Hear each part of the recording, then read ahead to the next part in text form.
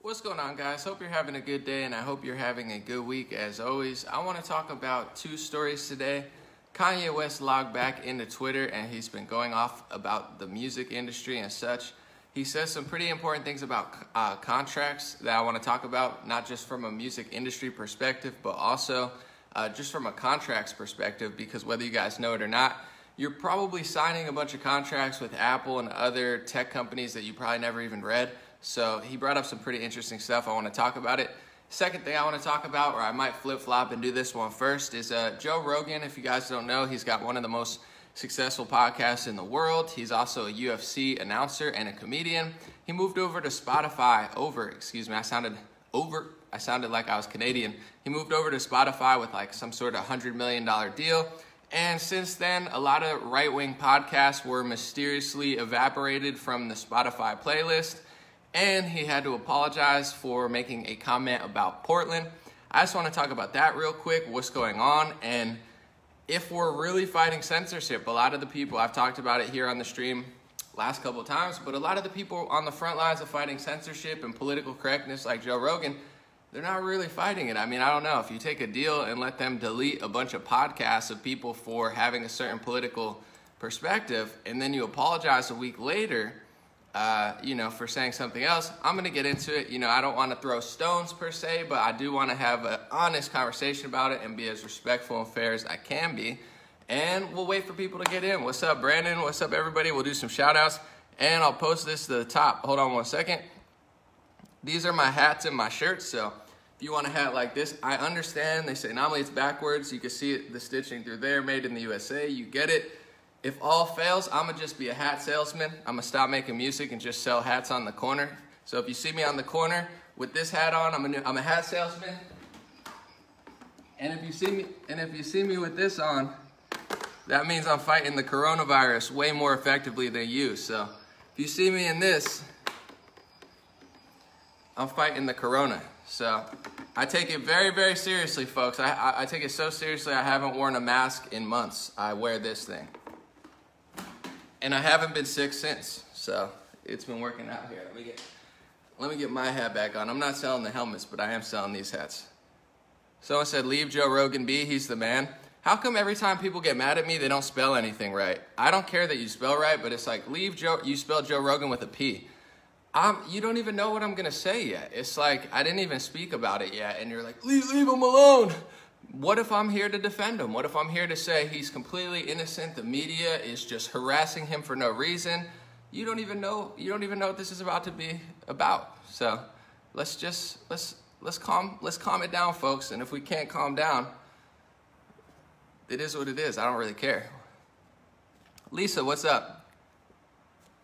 It says God bless. I'm sorry. You can see, you can see the stitching through there. I get it. It's backwards. It's mirrored. Anomaly mirrored. I'm sorry, folks. This is a live stream. This is the life I have to put up with. It's backwards for me and, and, and for you. It's okay. Shake it off. Let's shake it off. Like Taylor Swift said, shake it off, shake it off. Oh, okay. That's enough. What's up, Joe? Angela said, I can't stand Joe Rogan. All right, we got some Joe Rogan fans in the house. We got some Joe Rogan haters in the house. This is what happens if you if you're successful. Some people love you, some people hate you. You can't you can't shake it off but it's okay. I'm gonna sip on my coffee for like 30 more seconds. The hat, where can you get, you can get the hat at dreamrare.com or godblesshats.com, my website.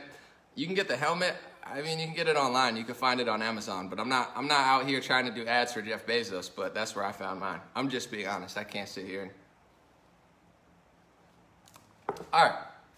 Let's start with the Rogan thing real quick, and then we'll move on to the Kanye thing. The Kanye thing's actually deeper than people think. A lot, everybody, you know, has an opinion about Kanye. He actually, pretty funny, he peed on his Grammy. I, I would say find the video, but it's kind of gross to watch, but he, he barely uses Twitter. And Kanye starts going off about the music industry. He starts outing like, you know, CEOs and stuff or high level finance people in, in, in uh, music.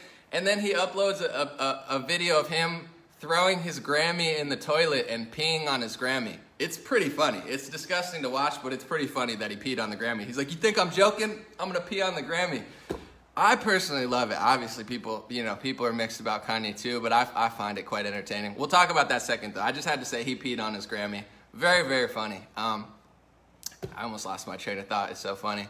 But the only thing funnier I saw this week was a Trump tweeted a, a, doctored video of Joe Biden like playing NWA off his phone. It was like F the police, and then it said the N word.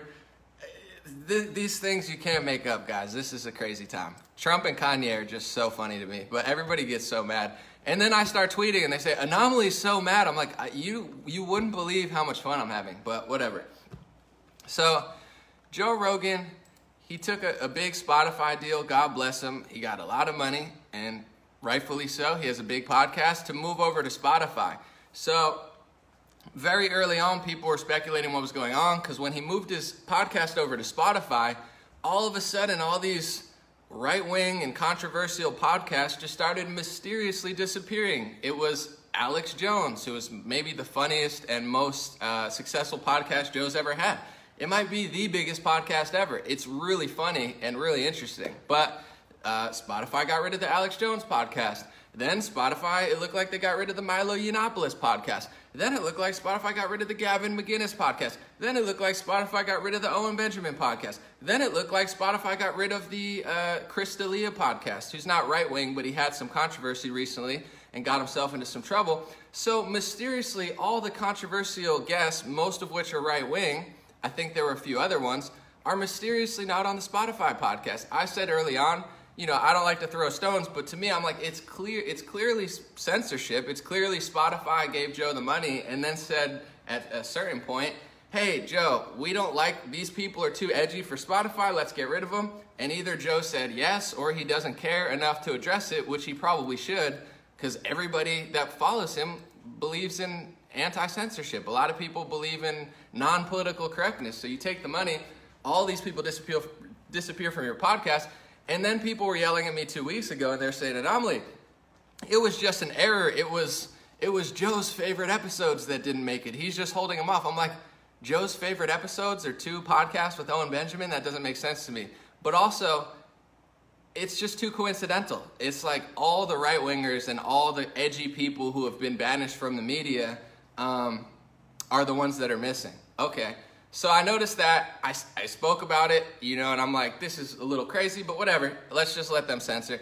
And then, you know, today he had to apologize uh, because he said that left wingers in Portland were starting fires on his podcast. The media came at him, and then he apologized. And I think maybe he spoke about the arson in Portland as far as the fires with more, you know, uh, enthusiasm than what he knew, and he's apologizing for that. And I understand if you did make a mistake, say, hey, I didn't mean to, I'm sorry.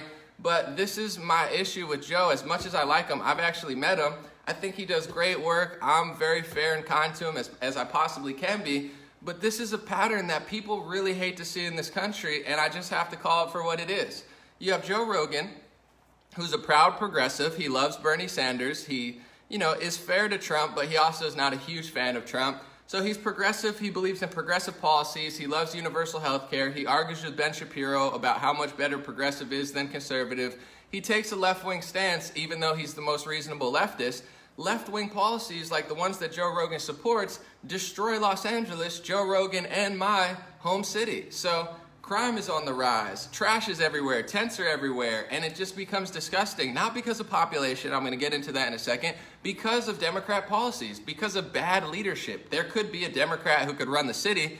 Eric Garcetti is not that. Jerry Brown and Newsom are not that for the state. So it's not the population, uh, it's the city, it's the politics, it's the politicians, it's the Democrats. So Joe takes his progressive po- policies and progressive ideologies and his multi-hundred million dollar deal down to Texas so he could probably save some tax money, maybe, maybe not, maybe just to get away from Los Angeles because it's coming, uh, becoming a third world country. And then he goes on and talks to, to, to, to, Shapiro, and he tries to say, I know he, he explained himself a little bit, but he tries to say, well, I'm leaving Los Angeles because the population is just too high. There's too many people. It's not too many people, Joe. If you're gonna leave a progressive third world country area that got destroyed because of Democrats and liberals, just be honest about it when you take your politics to Texas. This is what everyone hates. Tokyo has two times the population of Los Angeles. Tokyo is cleaner, it's safer, its streets are cleaner, its uh, citizens know how to act, and they don't uh, act like degenerates. So it has nothing to do with population size. It has everything to do with Democrats. It has everything to do with the leadership. It has everything to do with the people who live there and then the people who run the people who live there into the ground. So this is my problem with Joe. I, I always have love, I always have respect, but it's like you have progressive policies, you leave a progressive policy area to go to a conservative uh, state, and then you make an excuse and lie about why the place you left was actually bad. It was the Democrats, it wasn't the population. Then you have Spotify cut out all these right wingers Gavin, McG- Gavin McInnes, Milo Yiannopoulos, Alex Jones, all these people. And then you apologize to the media for making a mistake about Portland, which isn't really a mistake. It's more of like a hypothesis. It's like, who's lighting these fires? It's okay to speculate, be like, well, I just watched left wingers light fires on a, on a courthouse for 60 days straight. I just watched them light Starbucks on fire. I just watched them brag about lighting stuff on fire. I just watched a Black Lives Matter official go on television and say, we're going to burn it to the ground if you don't give us what I want. So it's okay for Joe to speculate that maybe the fires in Portland are coming from the left wing because most people with a brain and common sense would be like, well, since they're lighting everything else on fire, maybe they could be the arsons behind this too. Maybe not. So Joe says that and he apologizes to the media. But my big point is, I like Joe. I like him as a comedian. I like him as a human being. But you take the big corporate money, let them censor right wingers, leave a left wing area, go to a right wing state, go to a red state, bring your progressive policies with it, censor the right wingers who have the policies that actually keep you safe, that you want to live in their state, and then you make excuses for why you left Los Angeles and said, oh, it's just the population. No, it's the policy, it's the people, it's the politicians. That's what it is. It's your ideology that doesn't work. Progressivism, the word progressive is right out of the Communist Manifesto. It's also a word that means to progress. It's, it's, it's the name of an insurance company too. But all his like ideas of, well, we should have free education, we should have universal health care. In theory, they don't work because you're giving the government all the power. Karl Marx wanted complete control of communication. He wanted complete control of agriculture. He wanted complete, complete control of the media. And it's never worked historically for that reason. So when he goes and argues against Ben Shapiro or some of these other conservatives says, well, I believe in this. Well, my feelings say this. Well, your feelings say that your feelings want to give all the power to the government, which is what's happening in California. The government has too much power. Eric Garcetti has too much power. Gavin Newsom has too much power. He takes it away from the workers. He takes your tax money away. He takes your freedom away. He takes your ability to defend yourself. You're better off being a criminal than you are somebody shooting a criminal that's in your house or in your bar. And then you go and go to Texas because you know this is unsustainable. These ideas, these policies, these people, these liberals, these progressives, you can't live there because of that. There's trash, homelessness, and tents because of that. And then you take your operation out to Texas, a red state, because it's better, and then push your policies and allow Spotify to censor right wingers, lie about it, say, oh, we just made a mistake or it's some sort of copying error. It's not a copying error, it's not a digital error. I don't know what excuse he made. I didn't fully you know, catch the whole thing, but I saw that he told Alex Jones, and said, oh no, we, we, we're going to save those podcasts for later. You're saving the Alex Jones, Milo Yiannopoulos, and all these right wingers, Gavin McInnes, Chris D'Elia, Owen Bennett. They're not saving them. They deleted them because those people were deemed too controversial for Spotify.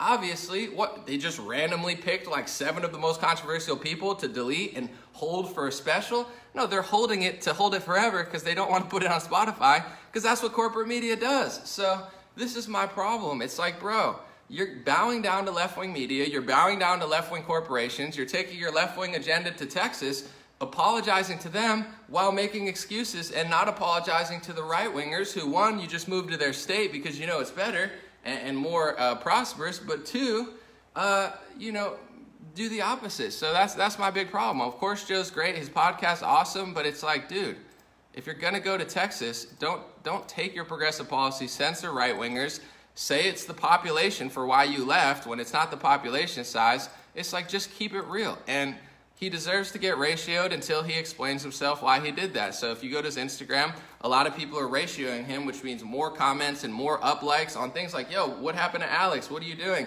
He deserves to get ratioed until he responds. And and I'm not saying this in a mean way, don't harass him personally, but when Joe Rogan had on uh, you know, the, the, the CEO of Twitter, Jack Dorsey, his name was, he did a horrible softball interview because to be honest, it just was bad. And Square, who Jack Dorsey owns, was a sponsor of the podcast. So Joe gave his sponsor, Jack Dorsey, a softball interview. Everybody complained. Everybody ratioed Joe Rogan. He got more downvotes than upvotes. And then Joe Rogan had a second one with Tim Pool on and the other lady uh, from Spotify, from from Twitter. So this is America's version. This is your free speech right to ratio and show people your disapproval of their lies so then they correct themselves. And Joe's really great, like a Trump, at correcting himself. If you bring the truth to, tr- to Trump, Trump usually corrects himself. If you bring the truth massively to Rogan, Rogan usually usually corrects himself because he, he he has a good scope of what's going on. So I'm not here hating on him. This is nothing personal. This is everything Bro, I lived in Los Angeles just like you lived in Los Angeles. It's a total shithole third world country that's becoming unlivable because of Democrats, because of liber- liberals, because of their policy, because they're too weak, because they're too fake, because they're incapable of solving everything. So you shouldn't be bowing down to left wing media when you move to a red state. You shouldn't bring your progressive policies to that state. And you certainly shouldn't allow Spotify to censor right wing people because eventually they're going to censor you and your money's going to go away. But even if it's not all about the money, I don't care. It's like people are like, you'd take the deal too. I really wouldn't, especially if I was already that wealthy, but I would not take a $100 million deal to censor 10 people that I knew shouldn't be censored because this is how the media operates. Well, they're too crazy, but this is okay. This is not okay. They're not too crazy. You're crazy. Don Lemon's crazy, Anderson Cooper's crazy, but they're the right kind of crazy, so they're allowed to act like they have the moral high ground. They don't have the moral high ground, and this is why we lose in this country because everybody's too big of a coward to do something about it. So that's all I'm trying to say. And it's like our if our thought leaders and our free speech anti-PC warriors aren't free speech anti-PC warriors, we're never going to make any traction. So we have to use our power to do good, not use our power to take a $100 million deal, censor right wingers, move to a red state, and then apologize to liberals for saying what everybody's thinking, which is that Portland is getting set on fire. Give me a break. This, this, this cancel culture, uh, you know, hypocrisy needs to end. And I like Joe, but it's like, dude, once again, before I move on, um, Los Angeles is not getting worse because of population size. There's plenty of cities on the planet that are way more populated and way better run. It's not the population, it's the people, it's the politician, it's the politics, it's the progressives, it's the liberals, it's the people who think the policies that Joe Rogan thinks work. They don't work for a reason. I'd love to talk about it, but if not, you could watch Shapiro talk to Rogan about it. They did a good episode, and to be honest, right wing versus left wing, it was very basic. And Shapiro said, This is what's happening. And Rogan said, Well, this is how I feel. I feel like this. We get it, Joe. You feel like it's a good idea to give all the power to the government and to give all the health industry to the government. We get that you feel that way, but they felt that way in, in, in California, and California's going to shit because of it. So now that you've fled California, do not bring these policies and these failed political ideas and these feelings and these lies and this bowing down to left wingers while censoring right wingers. Don't bring that to Texas. Don't mess with Texas. God bless you, Joe, and God bless Texas. Second thing I want to talk about is Kanye West. So I told you earlier, Kanye West um, peed on his Grammy. He started talking all this stuff about, you know, his contract, this and that. And I want to say one, before I talk about all that, the most important thing that I think Kanye West said is he said that we need in this era, we need to reestablish, hold on, I might sneeze, hold on, Corona. Sorry, I thought I had some Corona coming up. I had to sneeze it out before I got sick. But um, Kanye said we need in the modern era, we need smaller and shorter contracts. They're bombarding us with major contracts. He was talking about the music industry, but also you could say to Kanye, because I would say I didn't sign a deal. I had a deal in when I was 19 where a big label and a big executive wanted to sign me to a two-way deal where they were my management and my label. Uh, they were taking 85% when I was 19 years old. They wanted to take 80, 85%. I thought to myself, I'm only going to get 15%. So I, I didn't sign the deal. So in some ways, self-accountability and self-responsibility, it's like you didn't have to sign the deal. You wanted to be famous like Taylor Swift. You wanted the money. So you signed the deal. I didn't sign the deal. It took me 10 extra years to get to where I'm at because I didn't sign the deal. If I would have signed it when I was 19, I probably could have been more famous and less rich because they were taking 85% of it. So part of it is self-responsibility, but also Uh, you know, I do think when he says that contracts should be shorter, you could say, well, Kanye, you should read your contract, blah, blah, blah. But also, how many contracts have you signed that you've never read? Every time you update Apple, you sign a contract. Every time you open iTunes or you sign you sign up to iTunes, you sign a contract. Every time you, you make a Google account, you sign a contract. Every time you, you, you make a Facebook account, you sign a contract. Have you ever read the contract? No. Have I ever read the contract? No, I don't I don't have time to go through a hundred things, but that's insane that you would even sign that. So my thing is 20 years ago, nobody would sign a contract that they haven't read. Now they've conned our entire culture into signing contracts that we've never read. So when all this stuff's going on, they can't do this, they can't do this. They probably can because we all signed the contract that we never read. So one of the most revolutionary things that Kanye said that nobody's talking about because they always miss the gems, they always just go to the thing they hate the most is we need shorter contracts. We need contracts that make sense. We can't be signing hundred and thousand page contracts, whether it be musicians, entertainers, anybody, tech companies. We should get them. We should negotiate we the people down to getting things that we can read that make sense. I always say this. Someone said I didn't sell my soul. I did not. That's why I'm here, able to speak my truth or the truth. There's no such thing as my truth. They all say I'm speaking my truth. There's no such thing as my truth. Either it's the truth or it's not the truth, or you're speculating or not. There's no my truth. But anyway, I'm able to speak the truth. But we need to negotiate contracts down to a few lines that we can understand. When it comes to my own business in general, uh, I always say this. Like I've gotten, I've been wit- witty enough, or maybe uh, curious. I don't know the right word. Uh, c- concerned enough since I was 19 and getting these record contracts I always read it myself. I never had a lawyer. I didn't have money for a lawyer. I didn't have family who were lawyers. No one helped me. So I learned how to read contracts. And I would always say this to the record label. I'd say, I, I don't, this says way too much. And they're like, no, it doesn't mean that. And I'm like, no, it does mean that. I don't need to be a lawyer to tell what this says. Don't put it in there. I don't agree with this. So I, I, I from a young age, was able to negotiate my own contracts and run away from contracts that I'm like, 10%, 15%, zero chance. I'm not signing this. But that's what we have to do. Sometimes people give me a five page contract. What's all this? What are we doing? You know, I'm starting a business with my my friend to sell United States products and get everybody to buy products in the United States coming soon. We're not doing a 30 page contract because we don't need 30 pages. You own this, you own this, I own this, and it is what it is. We don't, all of these big contracts are a trap. So I like that Kanye said that and he's bringing that consciousness to the people we can't, in the future, be signing thousand page contracts with Apple. We, artists can't be signing 100 page contracts, 1,000 page contracts with record labels where your kids are going to be broke or, you know, they're going to have one one thousandth of the people that you signed to. But that's your choice. You shouldn't have signed it. But we, I like that. I like that he said that. I also like that he's challenging a lot of people in the record industry. He's kind of wild.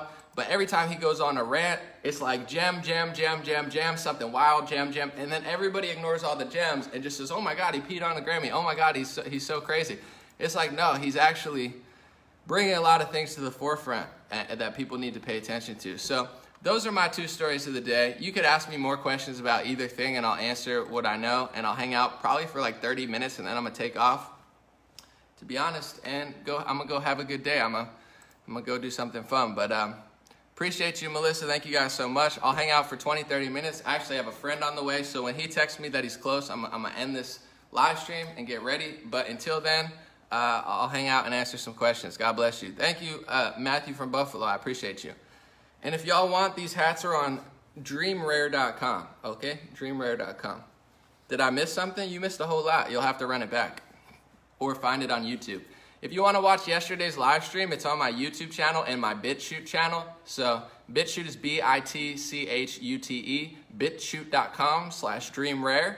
You can find my videos there. Instagram.com slash dreamrare. You can find some stuff there. YouTube, just search Anomaly, A-N-0-M-A-L-Y. You can find my live streams there that you don't see. I don't know, just just search it and maybe you'll find it. Maybe you won't. But my videos, they, they're scattered around the internet. So it's like it's like a it's like an Easter egg hunt. It's like, where did that live stream go? Is it on Facebook? Is it on Instagram? Is it on BitChute? I bet you can find it somewhere if you look hard enough. That's all I'm going to say.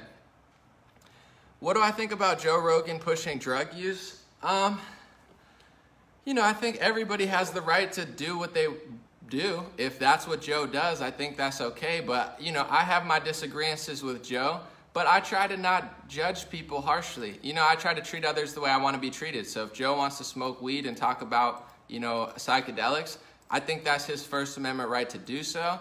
And it's my First Amendment right to say what I feel. But, you know, I'm not going to sit here and pick apart Joe for the things I disagree with. That's not what I'm here to do. I don't, I don't like to harshly you know, meanly judge somebody's character. But when you have a big influence, you know, you got to think about what you say. But it's also tough because if you're a human being, say you drink alcohol five times a week, what are you going to lie to people and say you don't? You know, so I, I have a little bit of compassion and sympathy for him there. But my, you know, my compassion and sympathy runs out when you leave the shithole third world country city that's declining because of Democrats and bring your Democrat policy somewhere else to destroy a whole nother state let that let them censor right wingers, not say anything about it, pretty much lie about it or cover it up, and then apologize to the left wing media. This can't happen. So I'm not going to pick apart his personality or his habits or what he talks about. That's not what I'm here to do. I have much love for anybody going through anything that talks about what they do in real life. But you know, as far as as far as trying to turn Texas blue and apologize to liberals instead of apologizing to, to, to your own you know, podcast guests that you censored, this is this is why we lose. We can't have our free speech warriors not defending free speech or selling it out for a paycheck. So that's where I that's where I have my disagreements. Has anyone else been pushed for mail-in uh, voting? My friend from New Jersey sent me uh, something he got in the mail. Governor Murphy of New Jersey is trying to make everybody vote from home. I, I, I read it and it said, everybody needs to vote from home.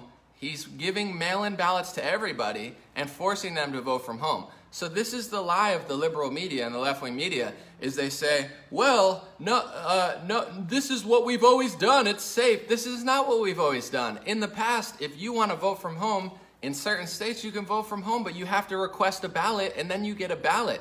There's never been a situation where they try to stop people from going in person and give everybody a ballot. That's how you cheat. Ballot harvesting, filling out somebody else's ballot. So there is huge cheating going on. But this is a coup attempt. I don't care what they say anymore. Fact check me, censor me, debate me, do whatever you want, devils. This is what's going on. The tech companies, Facebook, Instagram, Twitter, they're all working hand in hand with the Democrats to rig this election. So they fact check you and say, oh, this is a false. The experts have said that it's not a cheat. Which experts? The one that said that the ice caps were going to be melted by 2020 and they had to remove the signs from the National Glacier Park? The experts that said we'd be underwater in the 2000s? Which experts? Which one of the 10,000 experts that have been lying all over it? Is it Paul Krugman, the uh, unhinged economic guy who hates Trump, who said that the uh, that the internet would be no more revolutionary than the fax machine. His, his great insight when I was 10 years old, I knew the internet was going to change the world.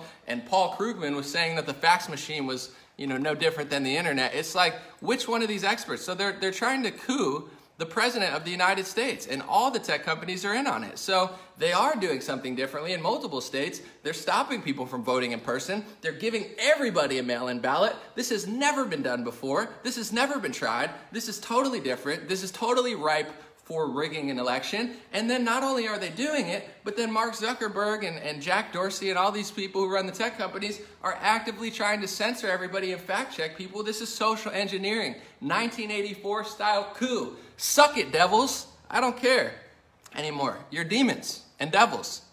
And I'm on to you. And so is everyone else. So keep lying. Keep rigging. Keep deceiving the people. Keep spreading evil. Keep sitting in your room at night knowing you're a big liar you can sit with all your money, lying, lying, lying, lying, sweating, devils, liars. Not only do they lie, but then they try to stop people from telling the truth. You have your First Amendment right to lie. Keep lying. But you don't have the right to socially engineer humanity and fact check and censor and destroy and take freedom away from people who are more honest and more accurate than you. You don't have that God given right. So shame on you, demons. Someone said, You're right, Anomaly. I've received three mail in ballot requests, yet they're rigging the election. And then when Trump says that they're rigging the election, they say, Well, it's not true. We've done mail in ballot. They've never done it like this. That's a lie. Fact check, you're wrong. Fact check, you're a devil. Fact check, you've never said you can't do voting in person and you can only vote from home and we're going to give ballots to everybody. That's never happened. You give a ballot to someone who requested it. You don't shut down the, the in person polls and give ballots to everybody else, you demons. Fact check yourself, devil. Are you a devil? Fact check true. Are you working for Lucifer? Fact check mixed review. Could be true, could be false. Snopes. I'm tired of these demons.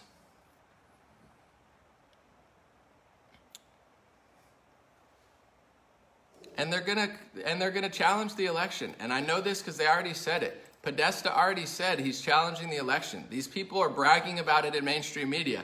Even if he wins, he didn't win. Wait for three weeks so we could find more ballots. Do this, do that. Even if it happens, they're trying to coup the President of the United States. They've tried three times already. First time, failed. Second time, failed. Third time, failed. They did it sneakily, they did it covertly, and now they're throwing all their chips on the table to bring, it, bring the house down. So Uh, Trump knows what's going on, Bill Barr knows what's going on, half the country knows what's going on. Bring it on.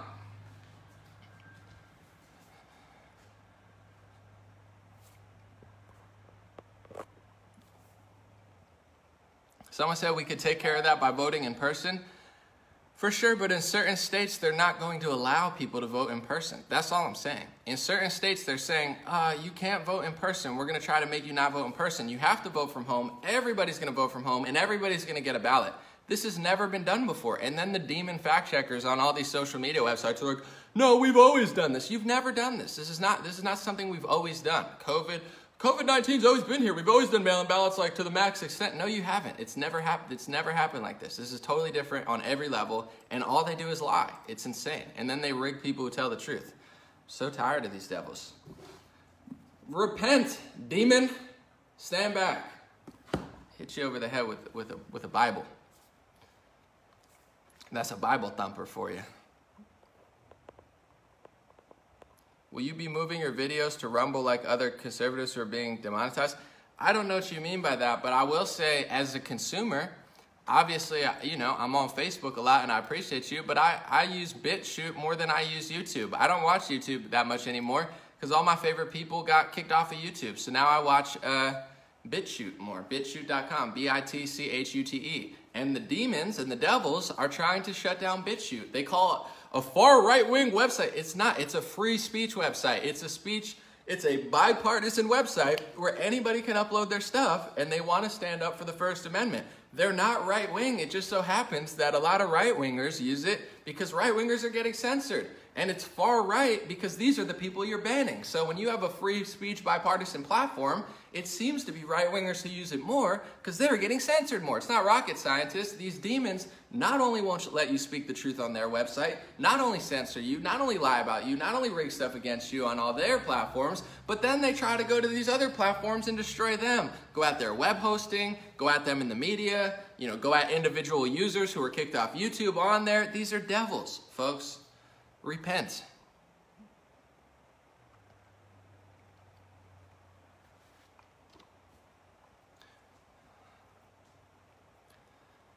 All right, let me take a sip. BitChute is allowing a platform for people who've been kicked off and they're getting attacked from every angle. They want to shut down any social media that they don't control. So people say, make your own. People do make their own. BitChute is the best alternative to YouTube that we've ever seen and they're all all these groups are trying to take it down. I could go through which groups are doing it. I just don't feel like it right now. Let's talk about something else. Let's answer some more questions.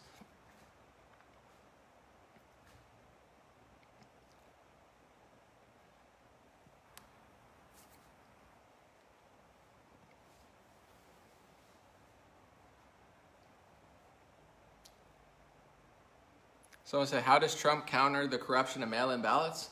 It's a good question. He's trying. He's trying to fight it in court. A lot of the stuff they've been doing this, this year is unconstitutional. They can't shut a church down. That's unconstitutional. They can't shut society down. That's unconstitutional. They can't shut your business down and keep United Airlines open. That's unconstitutional. They can't shut a church down, shut your business down, keep the airlines open, and keep the casinos open. This is all unconstitutional. Everybody should be fighting it in court. Bill Barr's fighting it. Trump is fighting it. They're working on it. Uh, lawyers are on it.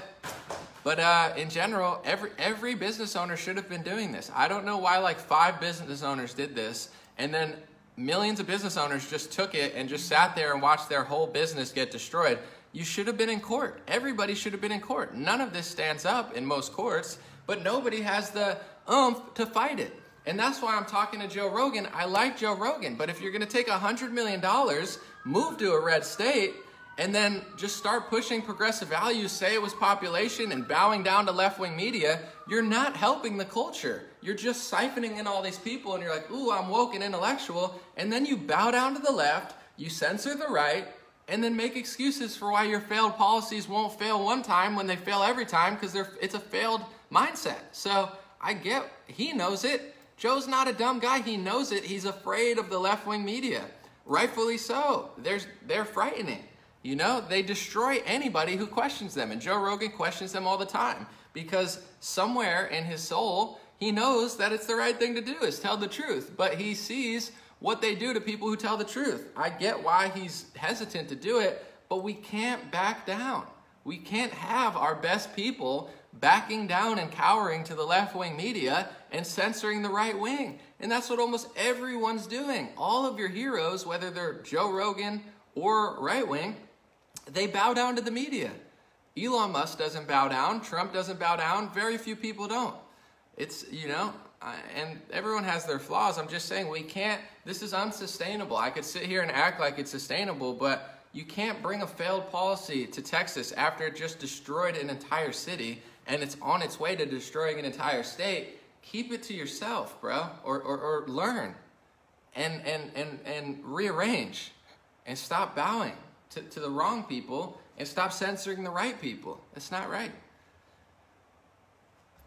Someone said, please don't move to Florida if you're a crazy liberal. If you move from New York or California to Texas or Florida because you want to move to a red state, the least you could do is not bring your stupid views there. And I don't, I want discussion and debate, but I left a blue city for a red city. It's better, it's cleaner, it's safer, it's nicer. In every measurable way, it's better, literally and it's not even super more expensive. It's like the same or, less, to be honest, in certain areas. So I don't go running around my new red city and being like, "Ooh, I'm like Bernie Sanders still." He posted a Trump.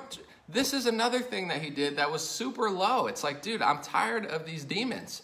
Uh, Rogan posted a, a picture of Trump because Trump said I'll go on Joe Rogan's podcast. I'll debate Biden for five hours. So Joe had the president of the United States agree to go on his podcast and debate for four hours. That's amazing. He should be complimented, right? Joe Rogan posts it and then posts a, a, song quote about the devil, suggesting that Trump's the devil. So Trump goes out of his way as the president to say, I'll go on your podcast. And Joe thanks him by calling Trump the devil. He puts a quote and saying the devil came down the highway dressed in a suit, trying to tell people, "Hey guys, oh, I'm having trouble on my podcast, but I think he's the devil. Just so, just please don't yell at me, left wing media." He's a coward and a liar, censoring right wingers on your podcast, moving to a red area with progressive policies, and then calling the president of the United States, who's a thousand times the man and leader that he could ever be, the devil. That's how you thank the president for coming on your podcast, calling him a devil. These people are unbelievable. I'm so tired of these liars. It's like it's not cool. It's not woke. It's not free speech. It's not counterculture. It's not anti politically correctness. It's bowing down to all the left. Please don't hurt me. I'll lie with you. I'll make fun of Trump, whatever I have to do, even if he reaches out to me. Just stop. It's so annoying.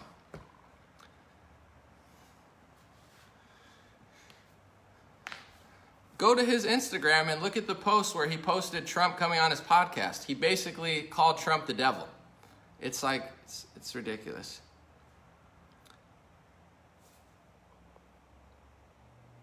Judy, sorry to hear that. God bless you, Judy. I just read the comment. Someone said if you move to another state and don't like the politics, don't bring it with you. Of course. If you leave a failed policy, leave that behind. Don't bring that and destroy your new state. This is what they do everywhere. He's like the king of that now. Yeah, he talks conservative sometimes, but he's like playing the fence and then censors conservatives. I'm tired of it. Or he lets Spotify do it. Uh, someone said I'm deactivating my Facebook account each each week for two days at a time after the election. I may just delete it altogether. Hopefully, I can find you elsewhere. Hey, John, sign up to my free email list at stayintouchwithme.com. I have an Instagram, I have BitChute, I have YouTube. YouTube. So if you decide to leave, you can find me on all those platforms. But sign up to my free email list, stayintouchwithme.com. Excuse me. I have to sneeze. Hold on. Never mind. I thought I had to sneeze. I, there was some corona. Sorry.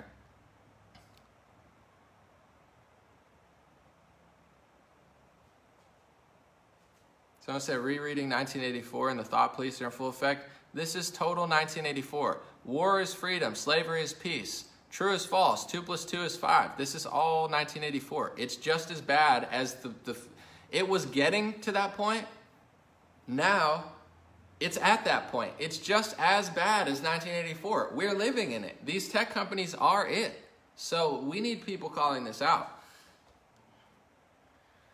So I said lifelong Rogan. I've always, I've liked Rogan since I was 17 and 18. I still don't. I don't. I don't have this emotional hate for people as a person. It's just like stop lying, stop cowering to the devils, stop calling our president that when he, he when he literally reached out to you. You know, don't bring your failed policy to Texas. Texas needs. I don't. I just can't fathom it. It's like I left somewhere where I saw what the policies did. I'm not going to say oh man, the reason I left Los Angeles, it's just too crowded. It's just too crowded. It's not too crowded. I moved somewhere that has a similar population, and so do other people, live all over the world in similar population areas in Los Angeles, and there's dozens of cities and counties that are more safe, more clean, more nice, less homeless than Los Angeles. It has nothing to do with the population. Go to Tokyo and ask them, where's all the homelessness? Where's all the trash and crime? I don't understand. There's so many people here. It has nothing to do with population. Why would you leave a place knowing damn well it has nothing to do with how many people are there, move somewhere else, and then bring your failed ideas and lie about it because you don't want to seem too right wing? You're just a liar. Why wouldn't you be? It's like you move. I, I, can't stand it anymore. It's beyond. It's like these. Everybody's just slowly whittling our country down to nothing, and I'm just supposed to sit here and act like it's okay. It's not okay. Tell the truth. And the more people who come to these people and demand the truth, then they'll tell the truth. They know they're lying. They don't want the backlash of telling the truth. But at a certain point, you're going to get it either way. We can't fiddle around anymore.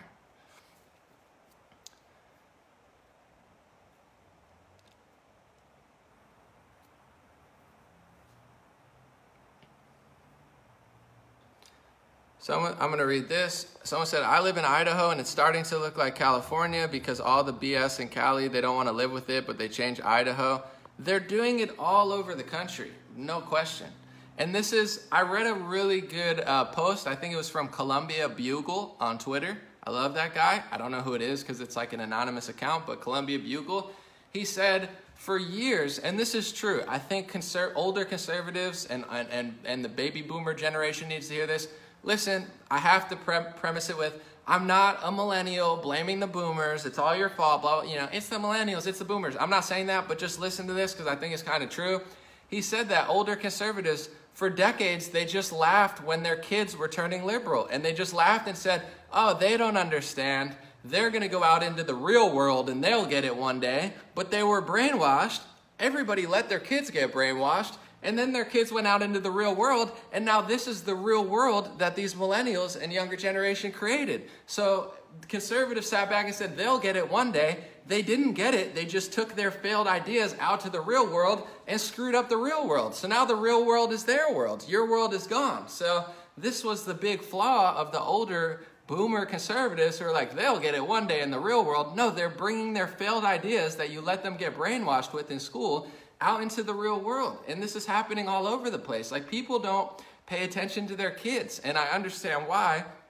In the 30s and 40s and 50s and 60s, the feminist movement and all these pseudo intellectual social movements that were brainwashing people into thinking families were bad and women have to go get a job, Back in the day, women used to watch the kids. You didn't let the government uh, run your kids. The woman watched the kids. And in some cases, maybe even the man was there to do it or vice versa, whatever. But you didn't just allow your kids to go off to these government schools and brainwash universities. You actually raised your kids. And then they convinced the women well, no, you want to be in a cubicle. You, you belong in a cubicle for 40 hours a week. That's where you'll be the most happy. So then women started getting so empowered. And by empowerment, I mean leaving the house and leaving somewhere where they had more freedom and going to work for some 60 year old guy 40 hours a week that they hated. And now you have nobody raising the kids because both parents are working. So where do you put the kid? You put the kid in school you put the kid in college and you don't read his rubric because you're tired. You just worked 50 hours a week to pay rent. And now your kids are brainwashed by the people you don't even know what they're teaching them. And now these kids are running the world. So this has all been like 100 years in the making. Destroy the family, separate the man and the woman, tell women they'll be happier with seven cats and orange hair when they're 65 instead of with a family. You know, tell them that they belong in the workplace instead of in the household.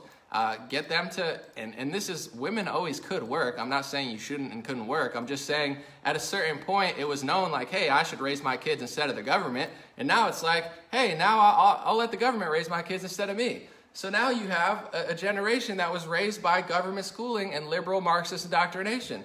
And the conservatives said, oh, they'll get it when they get out into the real world, but they didn't ever get it. They just turned the real world into Marxism. And this was always the plan, and this was always going to happen. So I think the moral of the story is please, parents, think about this stuff. Think about what you're watching on television. Think about what you're watching on Netflix. Think about what you're doing because what you're watching is like what you're eating. You're consuming it and your kids are consuming it. And there's a reason that the 18 to 24 year old, they're lost, they're self hating. They got the white kids hating themselves. They got the black kids feeling like they hate them, they hate them, I hate my skin color, I hate your skin color, it's your fault, it's my fault, I deserve this, I deserve nothing, you take all my stuff, I need all this. They've screwed up the mind of an entire generation. These people don't know how to think anymore. Up is down, down is up, I'm a woman, I'm a man. They've destroyed your kids because nobody raised their kids. Nobody cared what they were watching. I looked at my little brother's syllabus and it was propaganda. He went off to college and they filled him with four years of Marxist lies. So now he thinks like a Marxist. So this is what they do, and nobody seems to care. I don't, I, I don't understand it. I get it. It's like everybody's busy, you know. It's not easy to raise a kid and work. I could, I haven't done it, so I don't want to judge. But it's like, please, for God's sake, raise your kids. Look at what they're doing, or else you're going to create a monster. And then that monster is going to destroy society. And then you're not going to have anywhere to run because America was the greatest country in the world. And it's becoming very not the greatest country in the world. So now your ancestors and my ancestors and my grandfather and your grandfather who came here to escape poverty in Italy or poverty in Africa or poverty in, in Ireland or the famine all that's going to come here because that came there for a specific reason too. Bad leadership, bad management, bad economies, all these things that Marxists bring. By design, I read his book. So people got to wake up. And unfortunately, the tragedy of the situation is people aren't going to wake up until it's too late. And it's already getting to the point where it is kind of too late and people still don't care because it's still not that bad yet. But when it does get that bad, it's not going to be anybody's fault but our fault for not raising our kids, for not paying attention to what they were learning, and allowing these social justice Marxist groups for the last hundred years to slowly wither away society, destroy the family, separate the man from the woman, and separate the parent from the child, and put them in the hands of a Marxist or a government. By design, they've been doing this for a hundred years. So we need to reverse this. Rant over. Someone said communism has killed more people than any other ideology in history. It's absolutely true, and they never teach how bad communism is because they won World War II. We worked with Russia. Who did we work with? We worked with Russia and other countries. What was Russia at the time? Who was Stalin?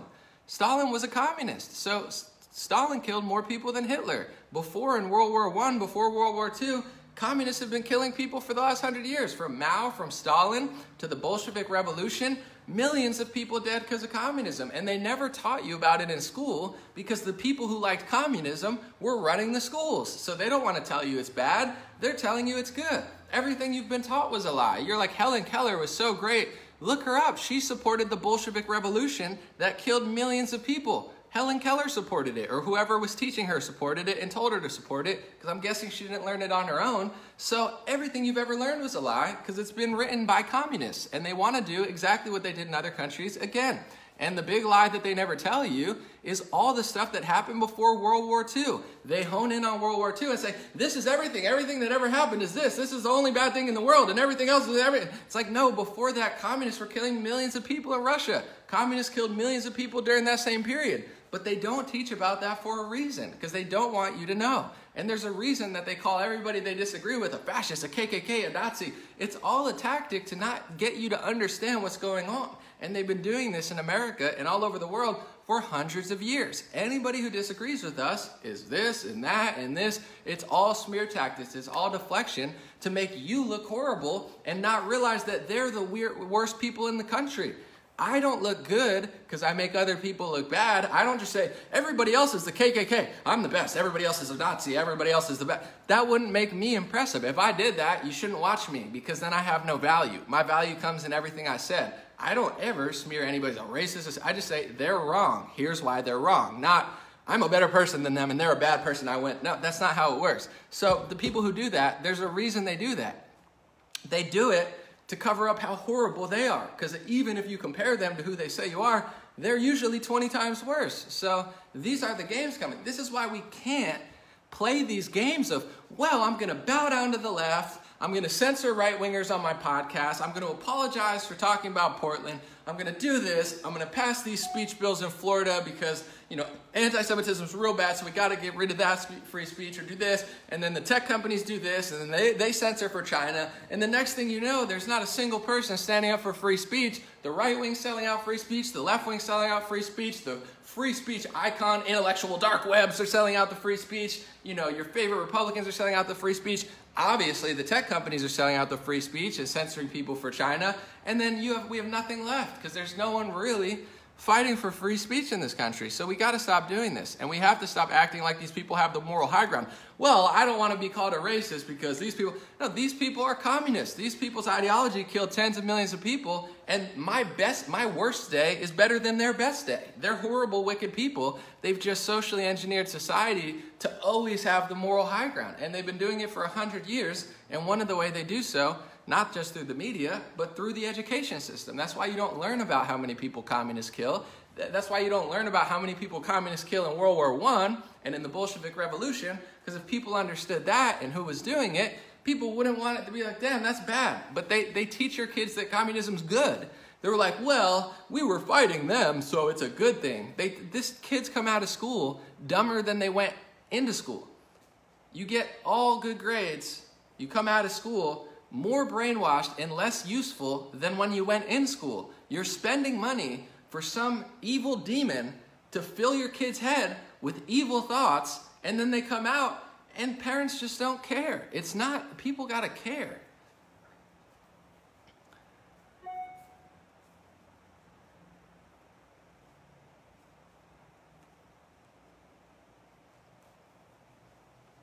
Someone said the problem is these people will place your employment and accuse you of racism and bigotry till you get fired.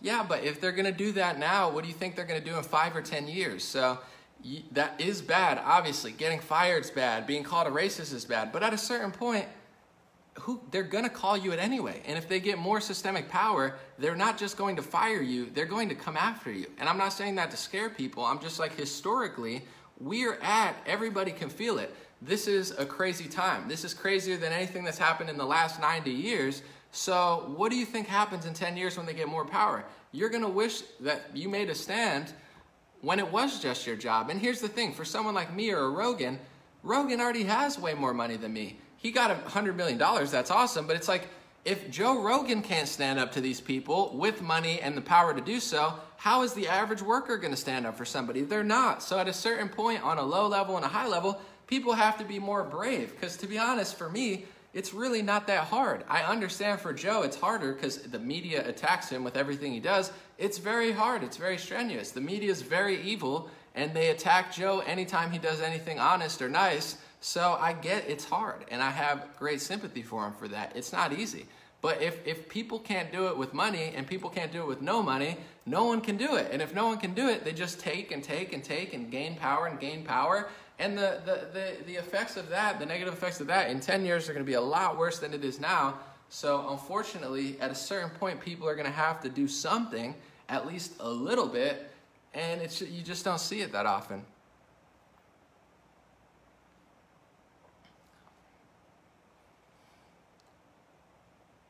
No, they go after Rogan every other week because he's not a total liar. Like, his podcast is more open than any left wing podcast in the world. That's why they hate Joe Rogan. They don't hate Joe Rogan because he made a mistake. They hate Joe Rogan because he's a progressive Bernie guy who secretly knows he's not a progressive Bernie guy and he secretly knows he's conservative, but he doesn't want to say so because they'll rip his head off. I feel bad for Joe. I seriously do. He knows he's more conservative. He knows who's supporting the Second Amendment. He knows that liberals don't don't don't uh, actually make sense, but he doesn't want to say that because he'll get his head ripped off. It's the same with people like Jimmy Dore. Jimmy Dore is a really honest progressive. I think somewhere in his head, he probably realizes that a lot of the policies he's pushing are not really going to work. And there's not a single left wing leader that is uh, uh, able to pull it off and make it work and make it not turn catastrophic. I think he knows that. But when your entire life is left wing progressive, you can't really jump out of that bubble. So the best you could do is like, I'm, I'll say this, but then I'll go back to here. I'll say this, I'll keep it real, but then I'll go back to here. And I think that's what, you know, people like Jimmy and Joe do, where it's like Joe knows, but he knows if he goes full truth, they're going to slice his, you know, they're going to come for him. Not literally, but just like, you know, metaphorically, media wise. So he's like, here's the truth, but I like Bernie Sanders here's the truth, but I want like he knows that's not the right thing to do. But my thing is, if you leave if you leave a left wing state to do it, you you owe it to your new state. To me, it's like I'm a warrior of my new red area. I'm voting all Republican, and I'm going to make sure this area never turns full liberal. And I'm going to try to flip the whole state red. So I'm not moving to a red area with a Bernie Sanders hat telling everybody about universal health care. Then I would expect people to hate me. This is why hate speech is such a lie, too. It's like, oh my God, it's hate speech. It's like, well, why do people hate you? Sometimes people are hateful. People hate Trump. People hate this. People hate that. I'm sure some people hate me, but it's, it's not illegal to hate somebody. So if a group is getting hated by, you know, a majority of society, maybe you're doing something that people hate. I'm not a hateful person, but other people are. So it's like, well, we need to stop people from saying this. You want to stop people from saying the truth because they've noticed you know, statistically in certain areas and certain groups, you're doing a disproportionate amount of evil. So the fact that hate speech and hate crime, people hate you for a reason. I don't hate, but I know why they hate you. So it's like you could burn, uh, you know, you can burn an American flag and basically nothing will happen. You burn a gay flag, it's a hate crime, and you go to jail for a few years. A hate crime is a made up term. It's a, it's a political term to say if you do this crime, it's okay. If you do this crime, five years of jail. A crime is a crime. If you burn a flag into somebody else's, that's property damage. If you burn your own, it is what it is. The courts can decide. You know, if you commit a crime against somebody and you attack somebody, that's a crime. If you do it for a political reason or something, that's one thing. But hate crime and hate speech, these are just made up terms to stop people from realizing what's going on. It's like it's not illegal to not like something. They want to make it illegal to not like something because the world's most wicked people don't want you to not like them. They want to make it illegal for you to not like them as they push and push and push and push. And you see this not just with hate speech, you see this with tech companies. They hate the truth, so now they censor the truth. They say the truth is uh, questionable, that needs to be calculated by the fact checkers and then daily. It's like, it's all a lie. These people just don't like the truth. So that's why I don't subscribe to the word hate speech. I don't subscribe to any of the hate speech words that they use to censor society. You never hear me say these words. Racist, sexist, xenophobic, anti-Semitic, climate denier. These are not real words. You could have an intellectual discussion about the changing of the climate, but that's a broad term. Climate change? Yeah, climate change. Winter, spring, summer, fall. Climate change, today, tomorrow, different weather. Climate change. Rain, snow, climate change. This is going up, climate change. This is going down, climate change. That's melting, climate change. That's growing, climate. It's a broad word that means everything. And then they say you're a denier. Nobody is a denier of climate change. There's just intellectual discussion about how much is the climate changing? How, how big are the storms going to get? How high is the ocean going to go? How big are the caps gonna be? How big is the melt gonna be? Why do you think that? They don't know. This isn't settled science. They've been wrong about every prediction they've ever made when it comes to climate change. They called the Jakobshavn Glacier the world's fastest melting glacier, or now the world's fastest moving glacier, because it's not melting, it's been growing for three years. So it grows for three years, and they still call it the world's fastest melting glacier and try to put out headlines to convince you not to question it. It can't be melting that fast if it's growing for three years. This could you question it? Of course you can. There's no, there's, they've been wrong about every prediction they've ever made because they're liars. They hate critical thinking. They hate discussion. They hate anybody who questions their lies. So hate speech is a made up term. And every term from racist to climate denier to anti-vaxxer, they're all made up terms to discuss, oh, you're an anti-vaxxer if you don't want the rush vaccine. What if you like every vaccine on the planet, but you don't want a vaccine that was rushed through safety trials? That doesn't make you anti-vaccine, it makes you pro-brain. That means you're smart. That means you have common sense and you're skeptical. That's what everybody should be. So they make up these terms to put you in a box. I'm not anti-pill, but I don't want most pills on the market. Does that make me anti-pill? No, because you could give me something at GNC or something off Amazon that I would take. That's a pill. I have a, you know, I have these mushroom pills, not like psychedelic mushrooms. I'm talking like lion's mane mushrooms. I take those pills. I'm not anti-pill. I just don't want 99% of your pharmacy pills. You wouldn't call me an anti-piller, so why would you call me an anti-vaxxer? Why would you call me a climate change denier? Why would you call me anti-Semitic when I believe in the First Amendment? Why would you call me racist when I'm doing half of what you're doing? Why would you call me sexist for trying to help women?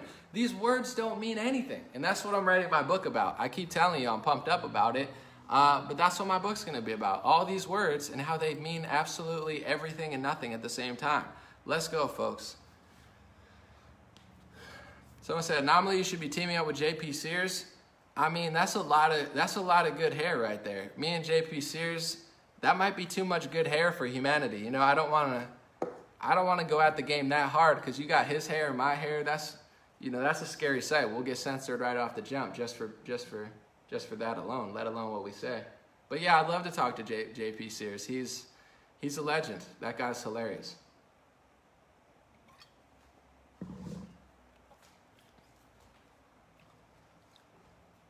Sorry, I got some water here. I'm, I'm embarrassed. Hold on. Hold on. I'm gonna put that right there though. GodBlessHats.com. I gotta wipe some water off my face, but I gotta show off my hat though. Look at that. That's a good hat. Hold on, real quick. Look at that. American flag, made in America. I got black hats coming. I got blue hats coming. You could wear it backwards and show off the American flag.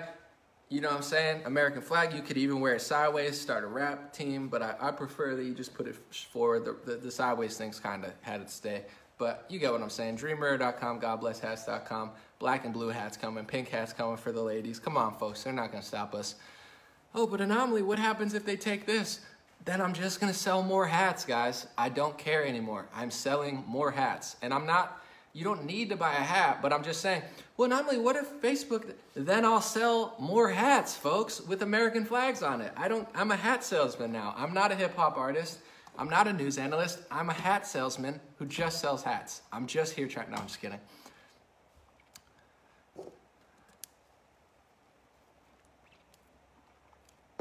Someone said, I'll buy your book. I bought Terrence's book too.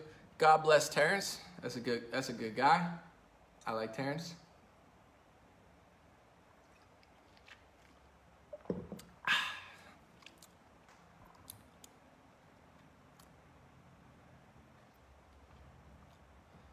I love the shirt. Oh, thank you. Yeah, I don't know where my shirts are, but you, you know, if you get it, it's on dreamrare.com, the anomaly shirt. It's my face on it and it says have a good day.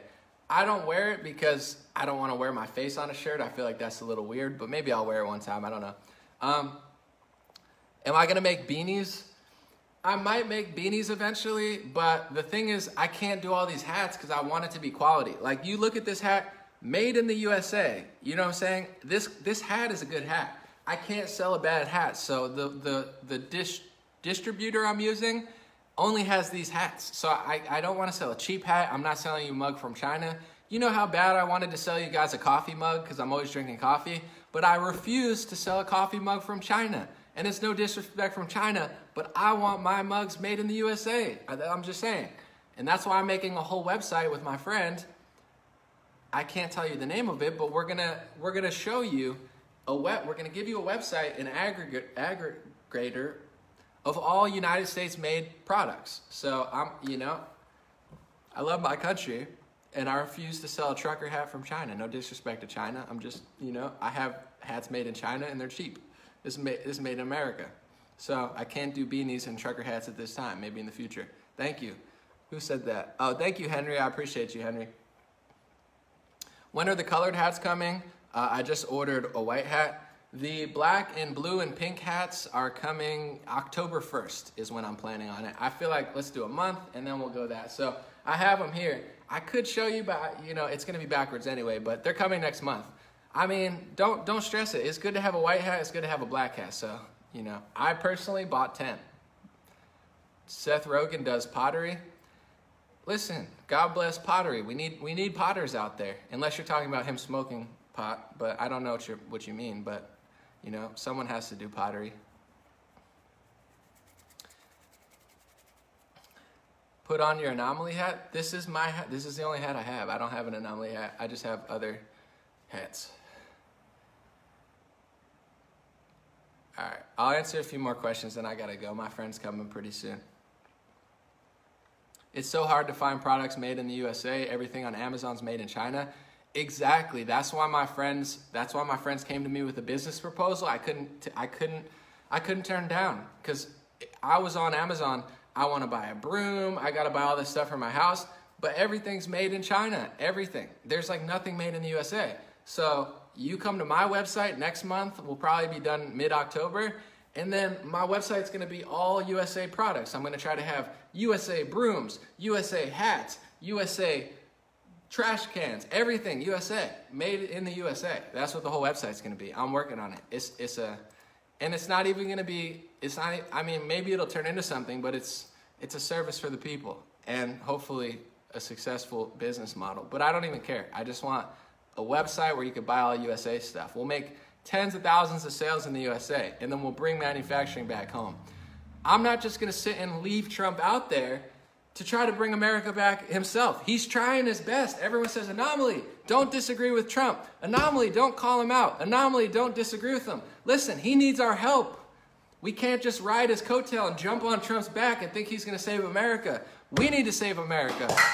I'm knocking things over. We need to help him. We, we need on all levels to increase what he's doing because Bill, Bill Barr is in over his head, man. These, these demons are incredible. So I'm out here trying to help Trump on the front lines. I can't just sit and watch him, you know, get, get surrounded by these swamp creatures. Excuse me. Sorry, I got a little worked up. I get excited, but it's okay.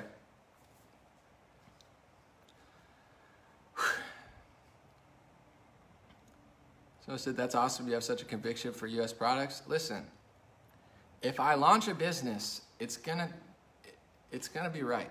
And if it's not, then I'll just go bankrupt. But it's okay. Trump did that too. Anybody could go bankrupt. Once, once in a while is okay. Someone said, I'll shop at your site. Yeah, it, and it's not even going to be like a full-fledged site. Like, it, it's going to lead you to the places that you could buy in the USA. So it's going to probably lead you off the site at first, but that's okay. All right. Calm down, calm down. Someone said, I have USA-made socks and I have USA feet.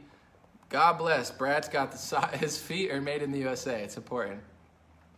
Let me see. It says Steven Crowder sells mugs, but he has to order them from China. But then he has them painted in the USA. He can't find a mug ma manufacturer in the USA. That's what I'm saying.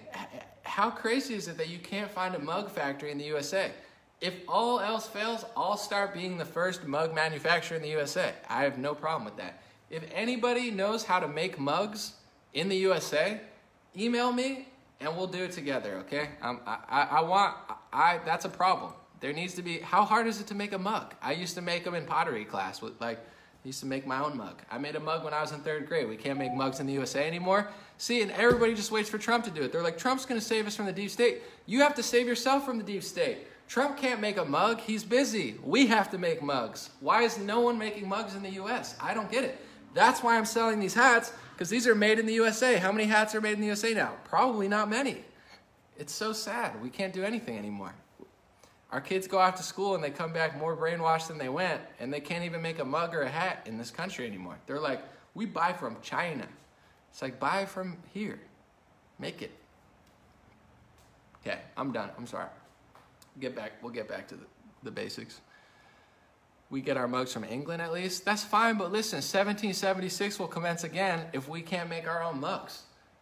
I love England. You know, London, God bless you. Manchester, God bless you.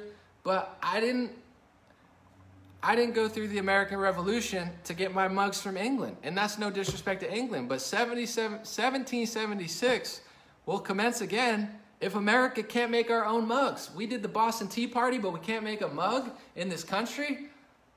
We have to make mugs American again. Come on. We didn't we didn't go through the American Revolution to buy our mugs from England.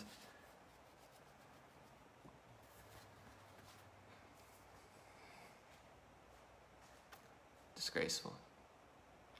Who's the distributors you use? We make our hats for our business and I want them in the USA. Heisel, you could, uh, e if you email me, I'll, I'll have that conversation with you. I'll tell you. Just, e just send me an email. Say, Anomaly, it's, it's Heisel. Where, where do you get your hats from? And I'll tell you.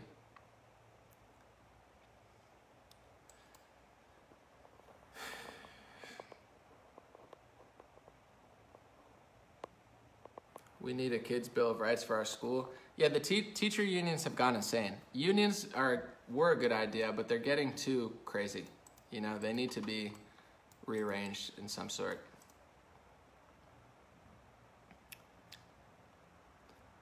Let's see.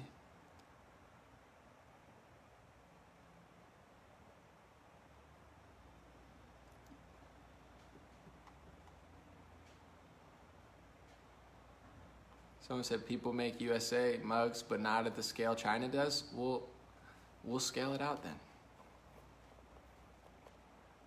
What do I think about the central bank and the monetary system? Uh, it's a good question. The, what's interesting is, I'll, I'll say this, because this is even more interesting than that, but what do I think about the central bank? I think Lenin said, Vladimir Lenin, who was one of the fathers of communism, I believe he founded the Communist Party. You know, that's why people say Marxist, Leninist, but Vladimir Lenin said essentially 90% of communizing a nation is putting a central bank. Karl Marx and Vladimir Lenin were obsessed with central banks because once you have a central bank, that means all the money comes from one place, centralized. What does that mean? It means that you don't own your country anymore. So once we, once we had a central bank in 1918, we were already on our way to communism. Even though America wasn't communist, once you control the money, you control everything else. So I can't say I'm a huge fan of a central bank because I think it was a mistake. Uh, and interesting enough, I don't know enough about this to tell you it's true or false, but I will say this. Everybody knows the Titanic. This is how they use movies to brainwash you guys and use movies, they tell you history, but then they tell you what they want you to know about history. So how many people have read you know, uh, the books of everybody involved in World War One and World War Two. How many people have read, you know, the you know the Communist Manifesto? Probably not very many. But how many people have seen movies about World War II and World War One, and that's what they know about World War II and World War One? So with, with the Titanic, I've seen the Titanic. It's a great movie. Leonardo DiCaprio, the lady, I forget her name. You know, I'm saying the old people. It's a good time, the Titanic. But most people don't know, and I've heard that people who opposed the central bank and who, who were really challenging the banking system that they were trying to go with were on the Titanic. And a lot of people seem to think that, you know, the Titanic crashed and then the opposition for the central banks was disappeared. I can't confirm that because I haven't looked into it enough to really, uh, you know, fully research it. So I'm being honest about it. But no one's even heard that. 99% of people only know Leonardo DiCaprio there's a bigger story when it comes to the Titanic, but they never teach you that. So they teach you the story and then they mold it in a, in a romantic way that they want to mold it. So you never realize what actually happened in this country. So everything's like that. World War One, World War Two. All these movies are scripts written by somebody. Who wrote it? How honest are they? Look at who hates Trump the most. Who hates Trump the most? The media hates Trump the most. Celebrities hate Trump the most. Uh, you, you, get what I'm saying? Um, script writers hate Trump the most. Judd Apatow hates Trump the most. Who killed Abraham Lincoln? It, sorry. Who killed Abraham Lincoln? It was an actor. So a lot of the people who hate Trump the most are the people who are writing all these scripts. If they can't tell the truth about today, Do you think they're telling the truth about yesterday or two years ago or five years ago or 20? They're not. They're lying. So, you know, unfortunately, I think people have been duped and deceived by the television, the movie industry, and people watch movies more than they read. So they now control your history or your false understanding of it.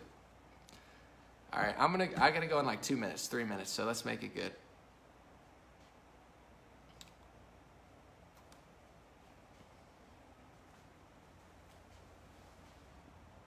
Someone said you're right about the Titanic. Listen, I'm not out here. I'm not gonna be out here lying to people. I'm just saying. I don't know enough about it to explain it, but enough to know that there's a bigger story there. That's all I'm saying. Someone said the rectangular water bottle would sell. What's It's not. That's not a water bottle. That's a. That's a glass. It's a glass bottle. I guess it technically is a bottle. Yeah, I don't know.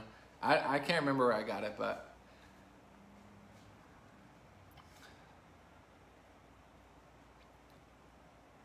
All right, two more minutes, maybe two more questions, then I'm out.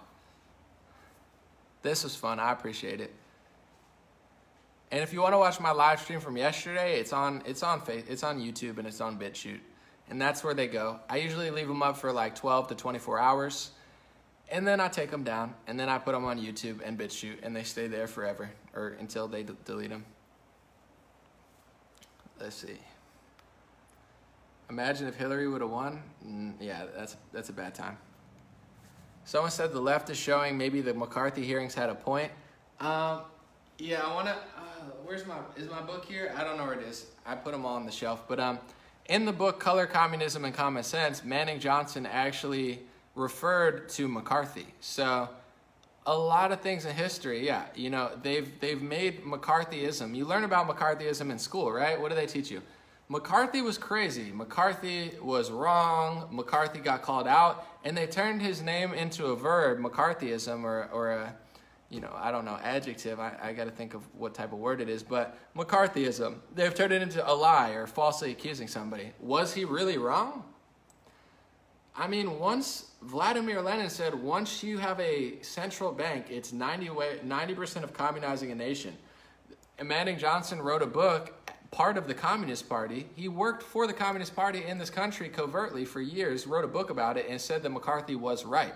This was a black communist turned you know, conservative Christian or Christian communist turned conservative Christian. So, yeah, I mean, I think people people would do themselves a huge service relearning history. Um, and even a lot of conservatives I follow, most people only know little talking points. You know, it's like, oh, the Democrats were the KKK. It's like, true. They, I think they were kind of, uh, you know, History Channel even says that they were, you know, behind it because if you look, who did black people work for? Black people worked for the Republican Party since 1870. So it only makes sense if Democrats weren't working with black people until like the 1990s and Republicans were always the party of black America, it would make sense that the Democrats were the KKK. But the point I'm getting to is there's a lot of stuff like that in history that a lot of people just say because it's like ingrained in their head if they told you McCarthyism was a was a word to mean fake, but maybe it wasn't. Like think about all the other words that you just call people and use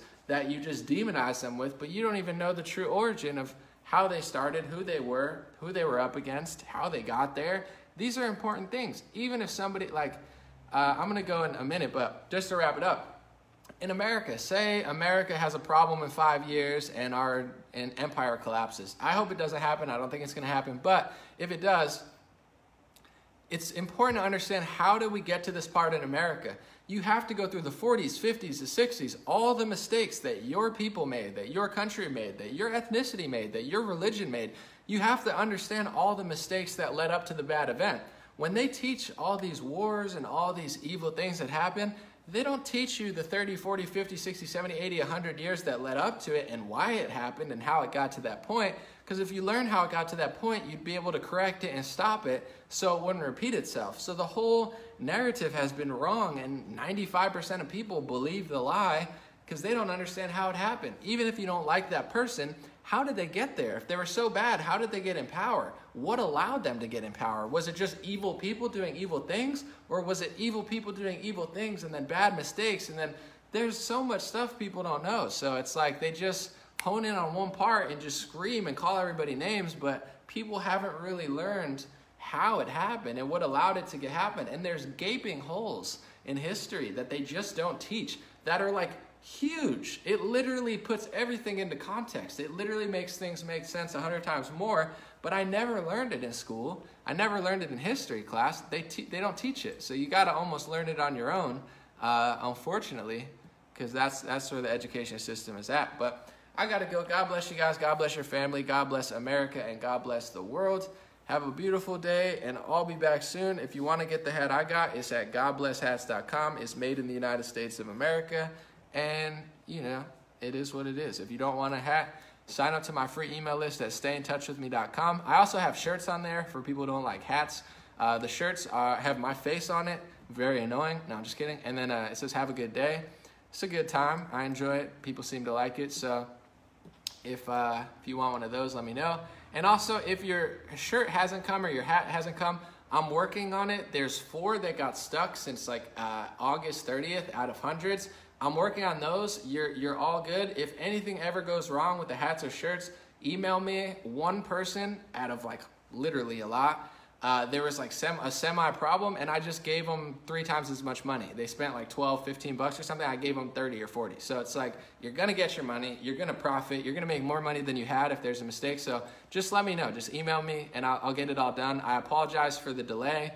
Two reasons. One got stuck because of the designs in, in uh, late August but also a, a, problem has been not a problem but they're taking longer than normal because of covid. All these companies are like well covid we're just going to go slower. So sometimes they get fulfilled within a day sometimes they get fulfilled within a week. I can't control it. I think they're starting to speed up because the covid thing is starting to disappear but uh, that's why the delays almost everybody it's been 100% easy but for the ones who aren't just feel free to email the email address that you ordered under if you have a problem and i personally handle it but I, it's been a 99% success rate. There's been like one or two slight problems. One guy, I switched his address. I'm out here doing all this stuff, but you get it. All right, just let me know. Have a good day, guys. I'll be back.